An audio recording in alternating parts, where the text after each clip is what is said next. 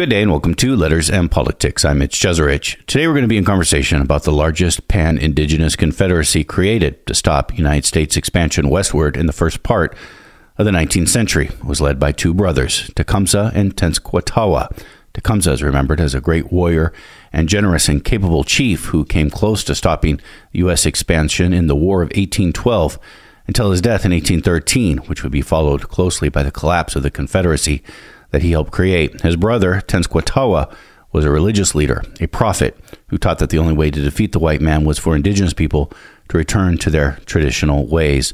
For this conversation, I am joined by historian Peter Cozzens. He is the author of the book Tecumseh and the Prophet, the Shawnee Brothers Who Defied a Nation. Peter Cozzens, it is a great pleasure to welcome you to this radio program. Thank you very much. I'm, I'm very happy to be here. I appreciate the invitation.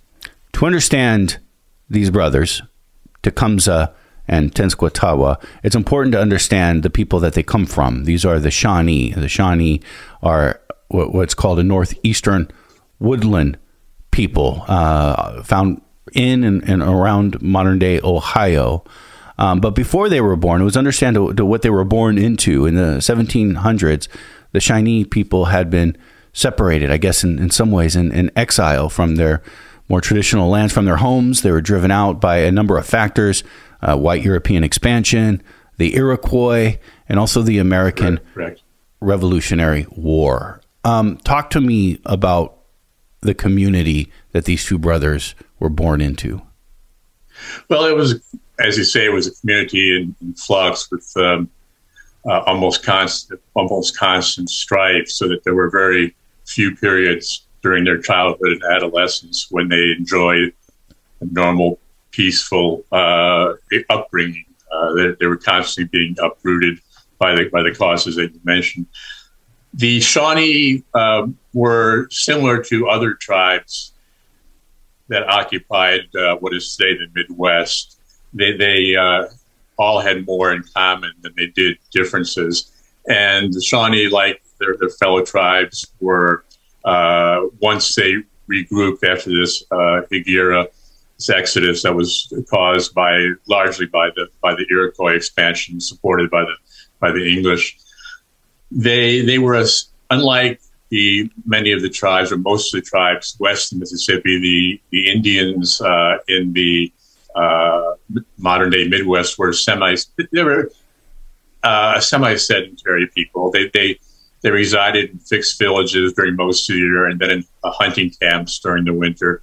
They relied on a combination of, of the hunt, buffalo early on, later almost exclusively deer, and agriculture. Uh, so they, they, again, they were not a nomadic people and they, they preferred to, you know, to live in fixed villages. They, they tribes in the Midwest, again, unlike tribes in the West, generally got along well with one another.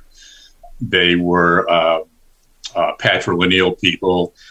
They tended to place, uh, the Shawnee in particular, greater emphasis on their family ties, their larger kinship ties, and the, cl- the clans to which they belonged than to the Shawnee people uh, as a tribe because they had been uh, uh, separated into different bands for so long they didn't really have a, a great sense of cohesion as a tribe.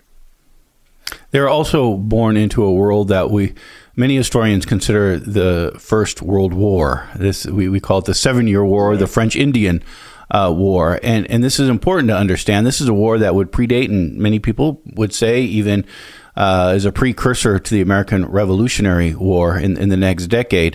And what's important to understand about this this war uh, for this story is that many indigenous people either sided with the British or the French, and this is who the war was between the Britain and, and France. And uh, tell me, tell me about how this war plays into the story. it plays into the story in, in, in, a couple ways.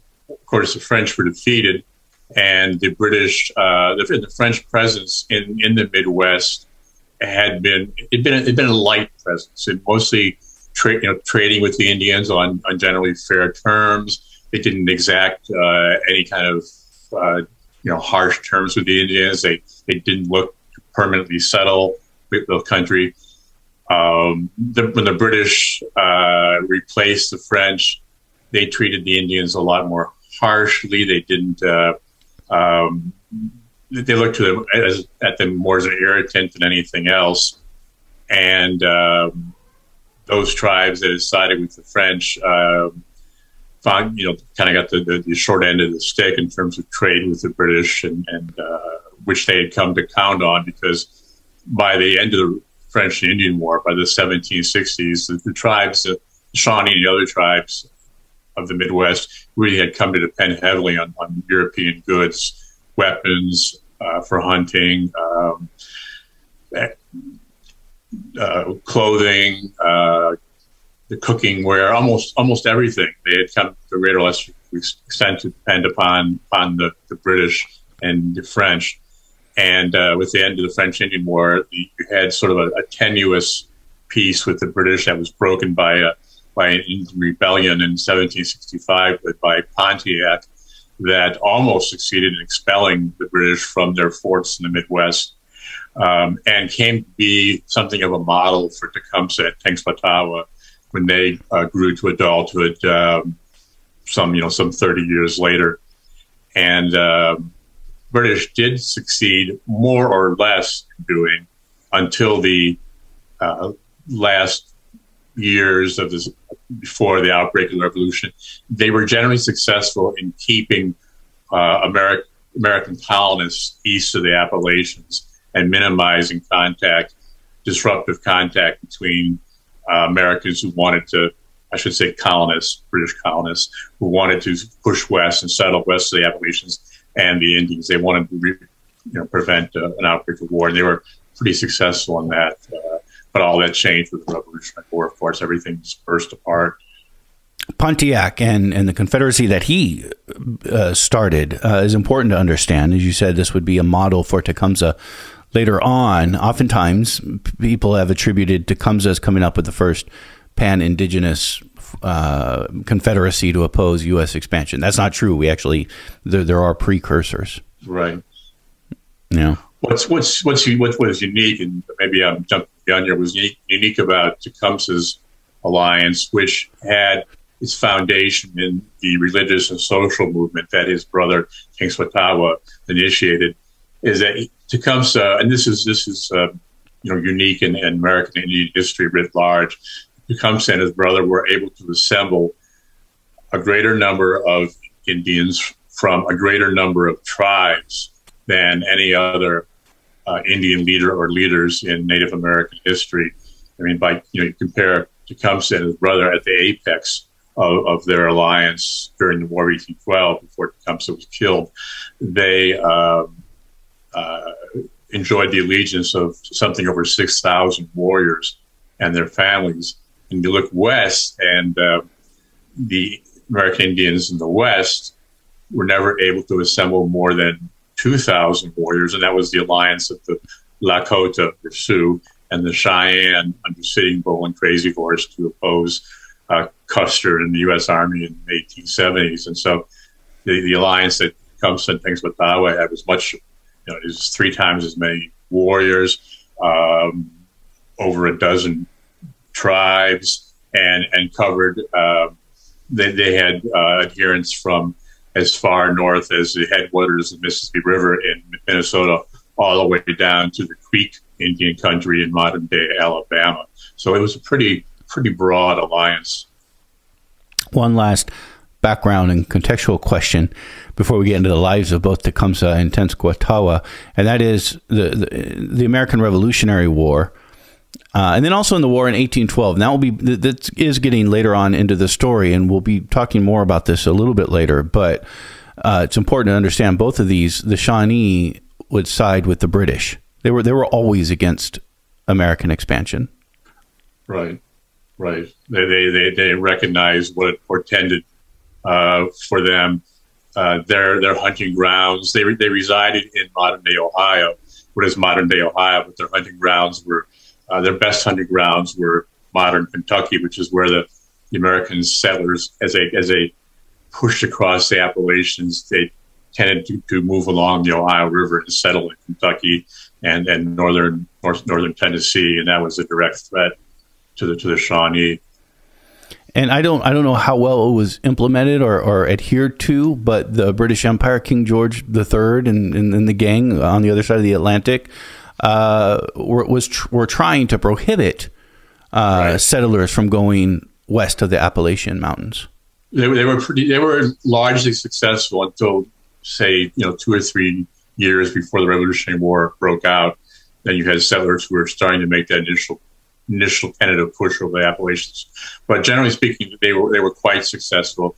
Um, there were uh, land speculators like George Washington, for instance, who sent uh, surveyors uh, west of the Appalachians in what's modern day modern day eastern Ohio, West Virginia, to try to uh, stake claim to land, so that when, as, as Washington and others saw, when the British uh, prohibition eventually collapsed, either through the inability of the British to enforce it, or as it turned out, the American Revolution, they would have uh, they have the best land available to themselves that preempted.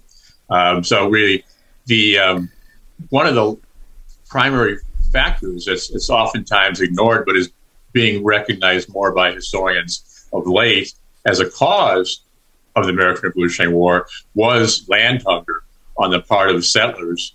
Uh, these would be, you know, kind of uh, marginalized, both rich land speculators and then on the other end of the spectrum, marginalized farmers and others who just couldn't cut it in the uh, along the Atlantic colonies and look for their future uh, west of the Appalachians. And it was that pressure to move westward and, and the, the British prohibition uh, on it that was uh, a contributory factor, a major one in the uh, outbreak of the Revolutionary War. I want to ask you about the other brother. Tecumseh usually gets most of the attention uh, when people talk about the Shawnee in this period right. of time and this creation of a pan Afri- uh, pan uh, indigenous, excuse me, pan indigenous uh, confederacy to oppose westward expansion.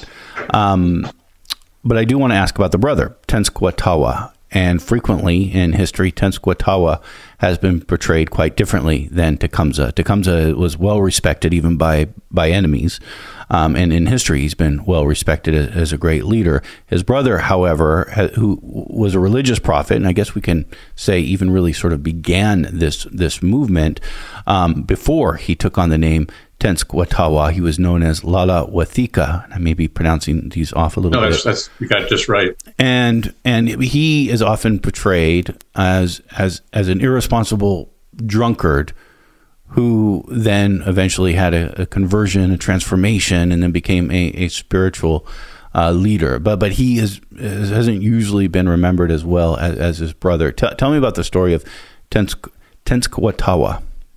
You know, in some ways, it's it's I find it more compelling uh, than the story of Tecumseh. Tecumseh, he was both, he and his brother Tenskwatawa, his younger brother, were, were sons of a noted Shawnee war chief. So it was expected that they would be uh, themselves uh, formidable warriors at a minimum, and, and likely to be to, to, rise to the level of, of war chief.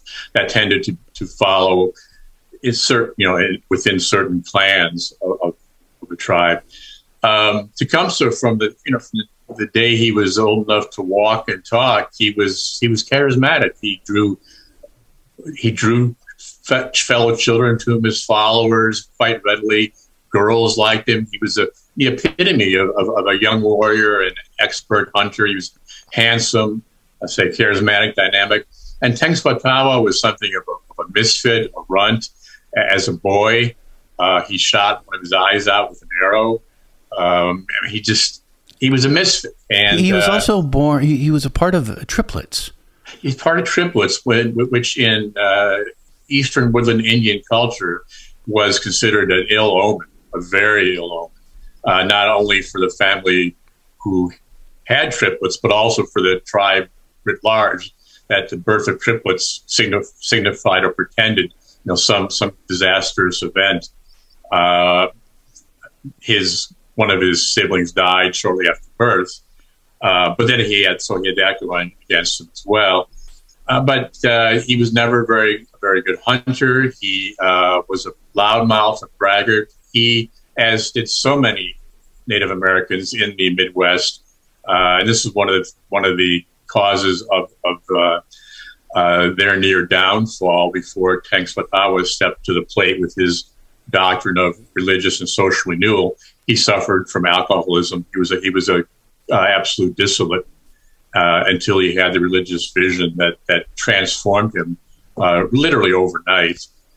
And even after that transformation, and it became clear early on that he was the leader of the pan, of the Pan Indian movement, and he and American and British officials, uh, the latter in Canada, recognized his importance and influence before Tecumseh, um, you know, some three years into the alliance, uh, broke, in a sense, broke out from under his younger brother's tutelage and became a presence in his own right.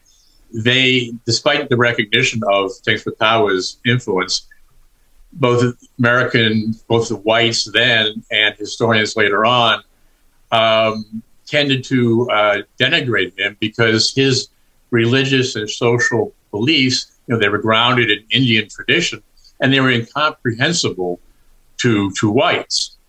Whereas Tecumseh, when he emerged the, uh, as the, the, this greater of the two in, in leading the, the military political alliance, he um, he espoused objectives that, that whites could readily comprehend. You know, maintaining Indian land against incursions. He uh, he believed in fighting what whites would consider a humane, you know, type of war, not not uh, uh, harming women and children, and and so he he, he, he was comprehensible. Tenskwatawa was his religious doctrine that that um, you know, for one thing, by calling for a, a return to to uh, more fundamental Indian ways, it, it threatened the, the trade between uh, between Americans and English and and and uh, the Indians, and he he uh, espoused the, the crushing of, of witches uh, as being important to uh, returning the Indians to their traditional ways. Witchcraft was considered a, you know, very vital but uh, uh, malevolent presence in Indian society, and all that made him kind of repellent to to to whites. Whereas again, Tecumseh was more readily understandable. So Tenskwatawa has suffered all through history uh, from that stigma. Oh, interesting. And when you read about his philosophy, that of Tenskwatawa, it, it does make practical sense. He says that we are overhunting our, our forest and overlogging or cutting down too many trees in order to trade these things to the to the white man. Right. Yeah. For for alcohol, uh, in large measure, unfortunately, and and it was it was all to the Indians' long term detriment. And um, Tenskwatawa was right on the mark. And um, uh, he uh, he was also practical though. He recognized that uh, whereas the, the, the, Indians should have no contact with Americans, the British were all right. Canadians were all right uh, because they had been not only had they been allies of the Eastern woodland tribes, but also they the uh, as Tenskwatawa recognized, you know, the Indians had become so dependent on muskets and, and ammunition in order to hunt and survive. that he couldn't entirely uh, part ways with the whites, but it was in their interest to to part ways with, with the Americans to to maintain uh, what was left of their lands and their society. They, they were anti-American. It's interesting. I, I keep thinking as, as I was preparing for this conversation, I've read about Tecumseh in the past and remember thinking to myself, do not call him Native American. Do not call him American at all. This, he, they were against the United States. They, they were, they were, and they and they weren't. Um, Tecumseh and Tenskwatawa, when they they emerged as leaders of, of, this growing alliance, they recognized the inevitability of, of treaties, uh, notwithstanding the fact that they were, you know, dubious, uh, dubious legality and, and the, the methods by which Americans obtained land through these treaties were, were questionable at best. Um, they recognized the status quo that existed when they again uh, came into into power in the first first years of the 1800s. They recognized that that really couldn't be couldn't be reversed, and they were willing to tolerate the what they, they'd already lost, which was uh, more than half of Ohio, southern portion of Indiana, and on paper at least portions of Illinois and, and all of Kentucky. Uh, they recognized it as a fait accompli, and they weren't looking to make war, to initiate war.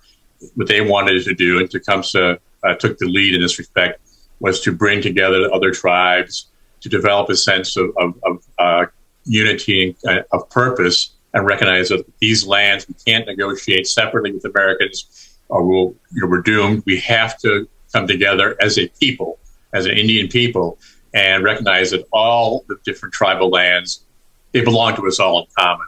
We have to stand together to resist any further American encroachment. So they weren't they they didn't they weren't um, naive enough to think that they could roll back the American frontier. I mean, there are already more Americans living in Ohio than there were in all these Indian all the Indian tribes put together in the, in the Midwest. But they they drew the line at, at further expansion. And Tecumseh really Tecumseh really he wasn't anti-American. He had a lot of American friends.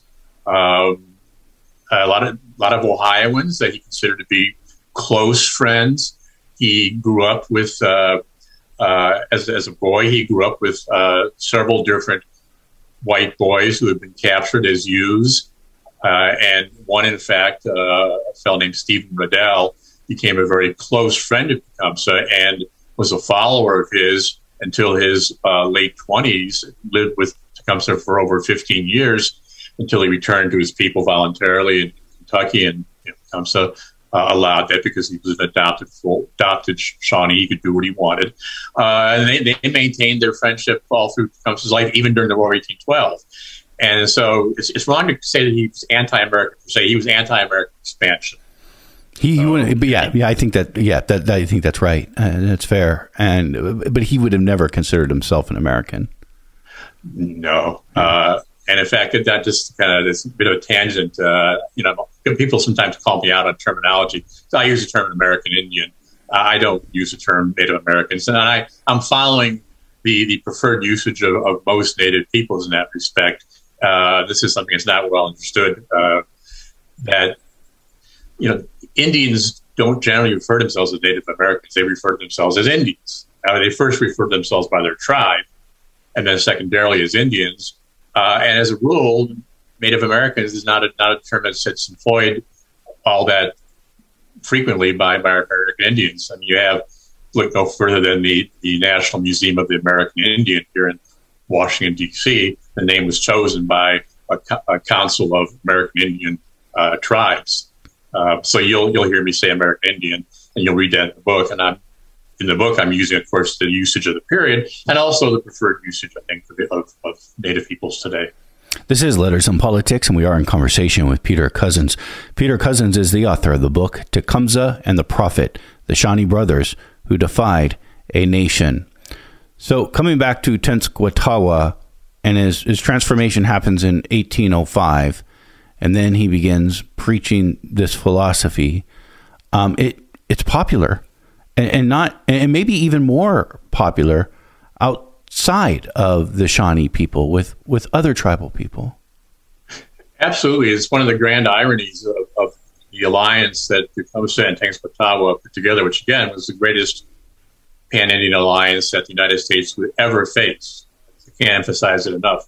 And had they prevailed, can discuss that more later, it would have changed the complexion of, of the of the Midwest uh, at a minimum and delayed settlement uh, who knows how long of the American West. Uh, the Shawnee, as a people, they're about half the Shawnee had already had seen the handwriting on the wall, decided they didn't want to fight the Americans, and had uh, relocated to modern day Missouri, which was then part of was then a Spanish possession, and took advantage of generous Spanish land grants and then resettled uh, west of Mississippi. But among those thousand or so Shawnee remained in Ohio, uh, ninety uh, percent of them uh, uh, repudiated the teachings of, of Tengku and Tecumseh, wanted nothing to do with them, and actually allied themselves with the Americans in the eventual War of 1812. His appeal, their appeal, was greater with other, among other tribes, particularly tribes that were a little farther removed from the immediate threat. Uh, tribes in, in, Wisconsin, Michigan, and uh, Minnesota that uh, hadn't really felt the, the direct uh, impact of American settlement yet. But again, they, they, they saw that this would this was inevitable if they did not come together and form an alliance against the Americans among the tribes that had already been exposed for a long period of time to American influence, especially the pernicious influence of alcohol and whatnot. There was a, a, a lesser tendency to, to follow the teachings of the Tenskwatawa and becomes more of a division among tribes. The tribes that were that were uh, you know the more most immediately affected generally split between those who followed the teachings and leadership of Tecumseh and his brother, and those who remained either uh, nominally neutral or actively sided with the Americans. Was alcohol a weapon? And, I asked that, weapon. yeah, because I, cause I was thinking about the, the opium wars in China, yeah. in which the British were forcing opium upon the Chinese, and because I thought of that comparison with alcohol here. Yeah, it was not a not a not a weapon, not a, a officially government sanctioned weapon. In, in fact, uh, government officials like William Henry Harrison, who was the governor of um, initially of all the states that comprise the modern Midwest, and negotiated uh, some of these dubious land deals with the Indians. He uh, he lamented the the the the, the, uh, the, the alcohol, the influence of alcohol, and uh, saw saw recognized and lamented its pernicious influence on the Indians, and took some steps to stop it. But um, the government's reach was not that great, and its its its um, heart really wasn't into uh, stopping the trade because it did make Indians more pliable and more more liable to cede away lands to pay off their debts they had contracted um, because they were trading away their uh, their their furs and other goods, trade goods that they had. Uh, instead of for things that they needed, they were increasingly trading for alcohol um, sold by uh, uh illicit traders. And uh, so it was, although it wasn't officially sanctioned, the government's efforts to stem the, the tide weren't that uh, weren't systematic or that great because it, ultimately it did um, it did benefit the government. Yeah. This Pan Indian Confederacy did, did it have a name? Did it have an identity? No, it really didn't. Uh, I mean, it's historians, and yet at the time, it, contemporaries of Tecumseh and the Prophet, you know, American and British contemporaries, most actually, uh, even into the War of 1812, referred to it as the Prophets Alliance. Even, even uh, and even after the war began, and Tecumseh was clearly the the dominant uh, leader. Uh, you find a lot of newspapers, British, I mean Canadian, and British dispatches and American papers referring it to as, as the Prophets Alliance. But it didn't really have a formal name, and, and it still doesn't. Um, a lot of people call it Tecumseh's Alliance or the, the Northwestern Indian Alliance, but there's no agreed upon name for it, even though it was the largest pan Indian alliance. And, and, they themselves didn't didn't give it any any any name. Did did Tecumseh and his his, his brother Tenskwatawa did they work hand in hand? They did, and that's something I, I try to emphasize in the book that they really it was very much a, uh, a symbiotic relationship. Tenskwatawa began the alliance as again as a social, cultural, and religious revival movement. Tecumseh, uh, when the threat of further American expansion became more immediate and inevitable, Tecumseh uh, came to the forefront because he had greater diplomatic, political, and military leadership skills. And um, so they kind of it worked hand in hand. Tenskwatawa gave the, the alliance its, its moral, uh, religious, cultural legitimacy and foundation.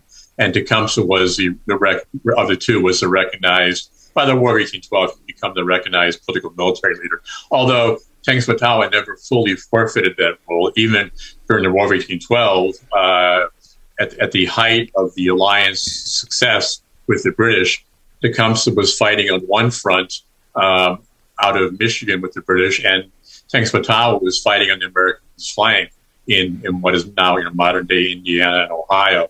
So again, it was a symbiotic relationship, and Tecumseh never fully uh, transplanted Tenskwatawa. Uh, religion became less important as you know after war broke out and the, the, the threat to the for the remaining Indian lands became, I mean, was uh, was an existential threat uh, that you know that kind of trumped the religious and, and, and teachings of Tenskwatawa, but he was never fully supplanted by, by his brother. Talk to me about what what's happening in Ohio and Indiana.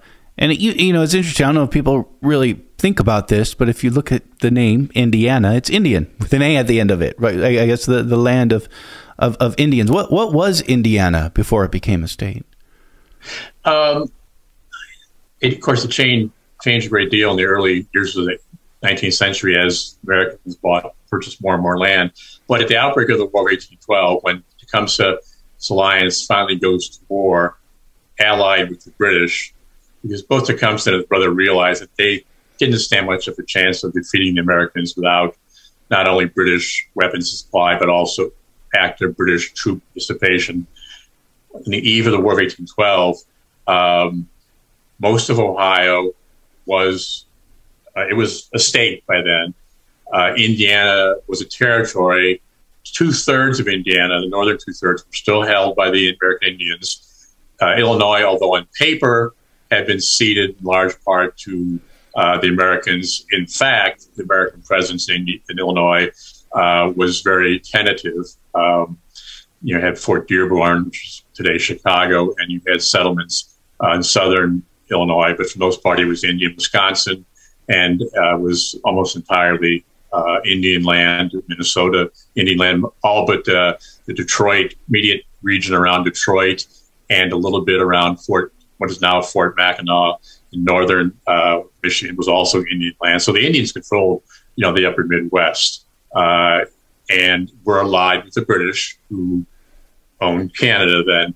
And uh, so when the War of 1812 broke out, it was really in, in the was then the West, mid, today's Midwest. Uh, that country was up for grabs. Um, had the British and Indians succeeded, uh, you know, modern day northern Indiana and uh, Wisconsin and Michigan and, and Minnesota uh, most probably would have become Indian country, an Indian buffer state between um, the American United States and, and British Canada. I mean, the British promised the Indians that they would they would fight for those terms, any treaty that uh, was arrived at, and they were sincere in that promise. So it was really was a war for the Upper Midwest, and again, which depending on how it went, would shape the complexion of the American West as well. Because before the American West could be settled, the Midwest had to be consolidated in American hands. The War of 1812 is an important war in this story. This is when the British come and invade the United States, is when they uh, light the U.S. Capitol uh, on fire.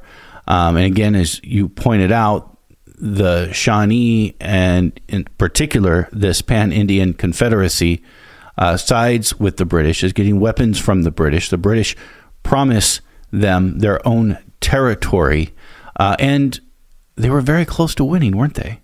They were, and their number. And I, when I started the book, I kind of assumed it was a fait accompli that the Indians were going to lose.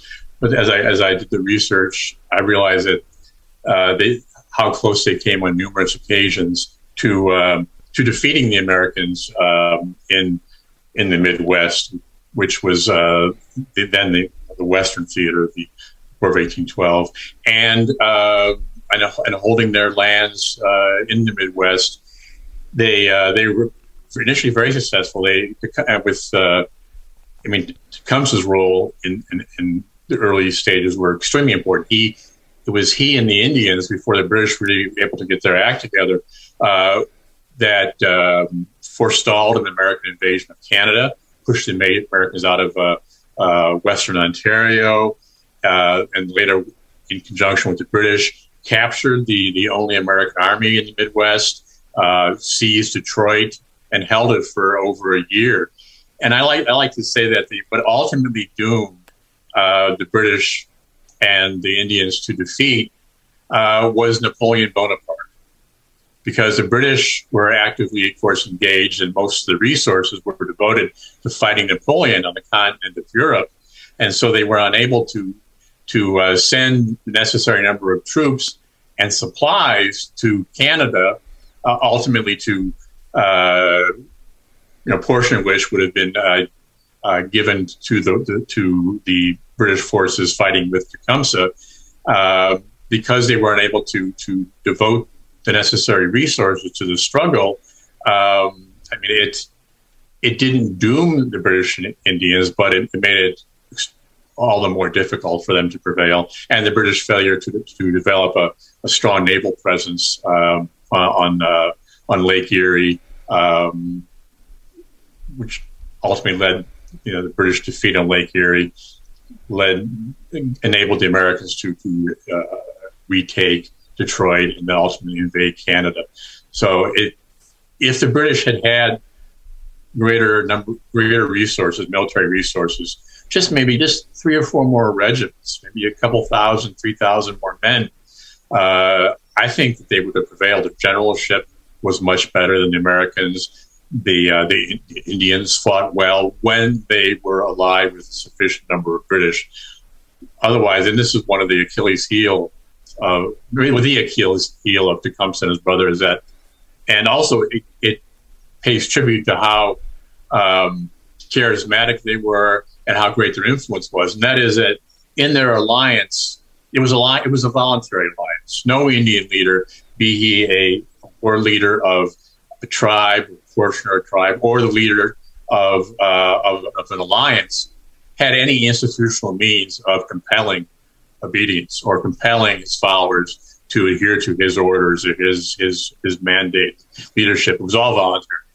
And oftentimes after victory, the Indians would, just go home uh, for, a, for a season to uh, feed their families or whatever. And uh, if they didn't agree with a particular tactic, they weren't obliged to follow. So that you know, you know, whereas American and British commanders, of course, had had a chain of command, they had they had institutional means to compel uh, their troops to follow them. The Indians didn't. Have, among the Indians, it was very it was extremely democratic, and that Tecumseh and Tenskwatawa were able to marshal this huge number of warriors and keep them together so long is when it was all because of the their the strength of their characters and the, their appeal that that's you know, that speaks volumes. Tecumseh was a very principled man. Um, yes, in, in, a, in, a, time in which it was very common to torture prisoners, he prohibited torturing prisoners, mm-hmm. including mm-hmm. white prisoners. Uh, he also made sure that uh, the elderly, uh, the ill, women, disabled, children were all were all taken care of.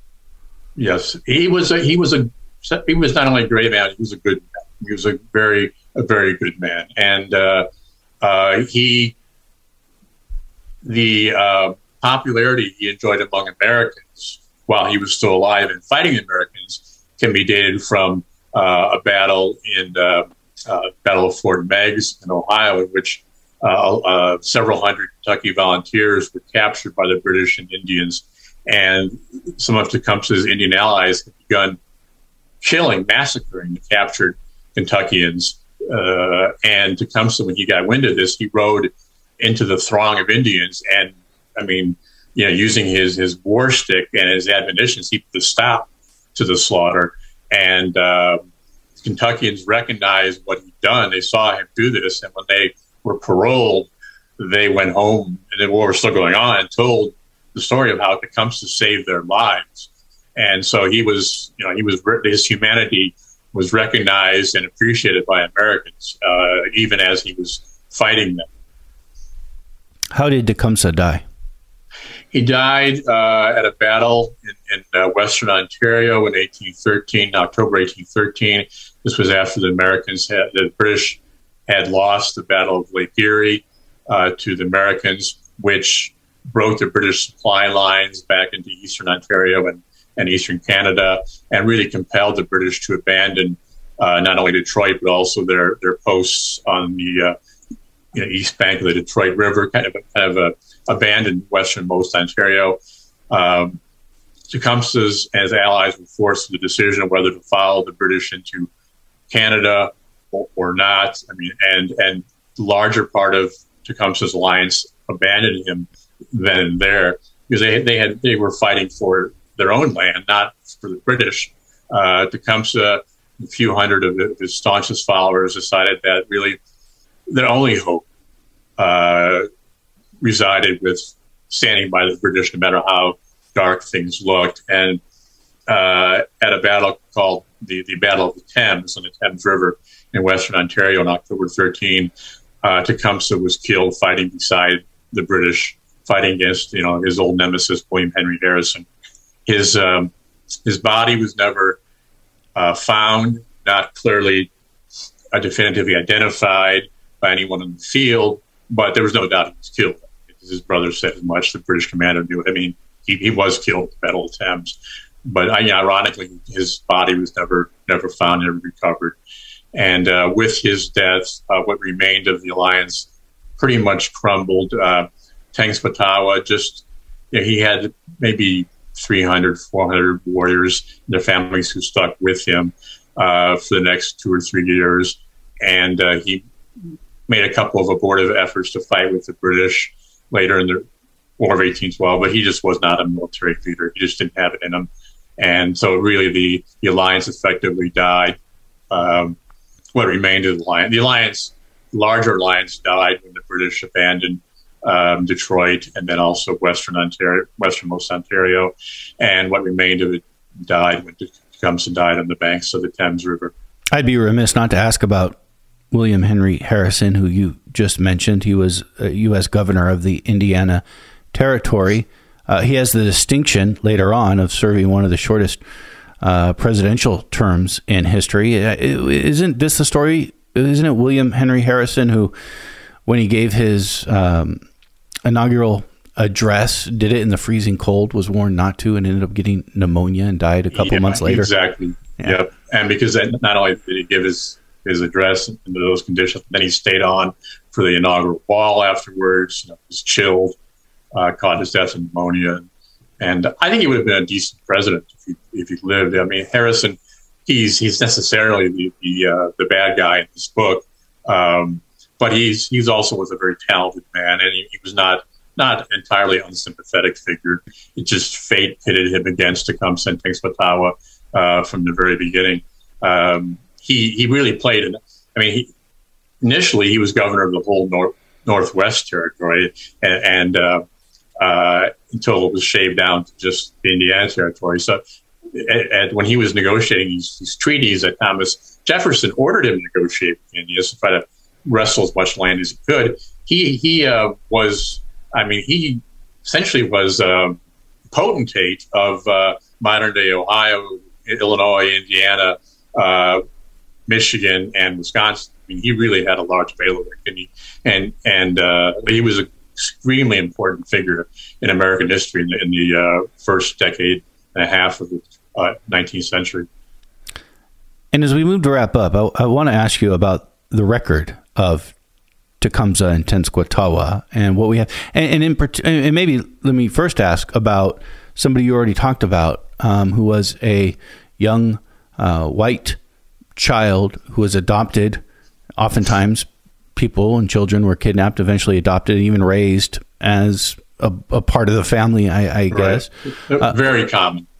And, and, and many of these people would go on to write accounts about that, and, and many of them said they preferred uh, absolutely being with the indigenous people and, and growing Absolutely. up that way, even though they maybe later on were forced or conditions required them to, to, to go back to to, to, to white society. Um, was his name Stephen Rod- Ruddell? Ruddell, Stephen Ruddell. Yeah, he was a. Uh, I, he was a as a boy of twelve. He was captured in a, in a British and Shawnee raid um, in Kentucky during the Revolution. Uh, the end of the Revolutionary War. He was again twelve years old.